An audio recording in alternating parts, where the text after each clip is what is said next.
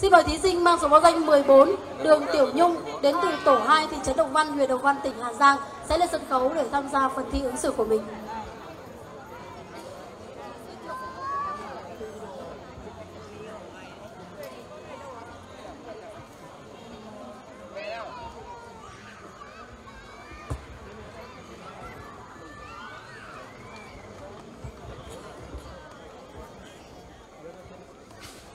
Thí sinh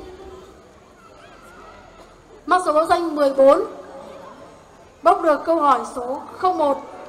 Câu hỏi như sau.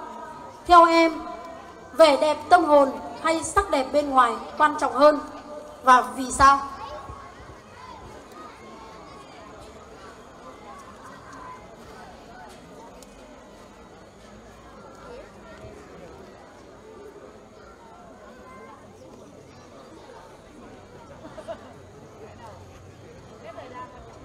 Ừ, em xin phép được trả lời câu hỏi số 1 ạ.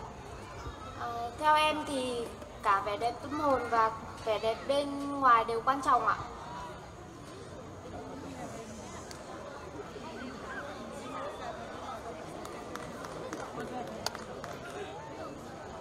Thì hai vì vẻ đẹp tâm hồn và sắc đẹp bên ngoài nó sẽ bổ trợ cho nhau và làm chúng ta tốt hơn. Vâng, xin được chúc mừng thí sinh mang số báo danh 14 Đường Tiểu Nhung.